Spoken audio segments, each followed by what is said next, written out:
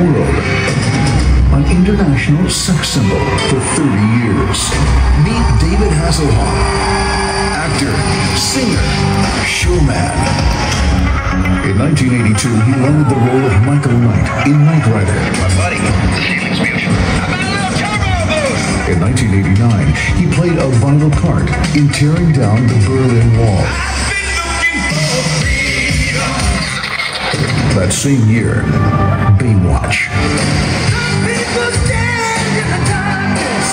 Baywatch aired in 150 countries, has made David Hasselhoff one of the most famous people in the world. Who are you? I'm David Hasselhoff. We're off to see the wizard. We're gonna go half night. We're gonna go half nuts. Because I'm half-alicious.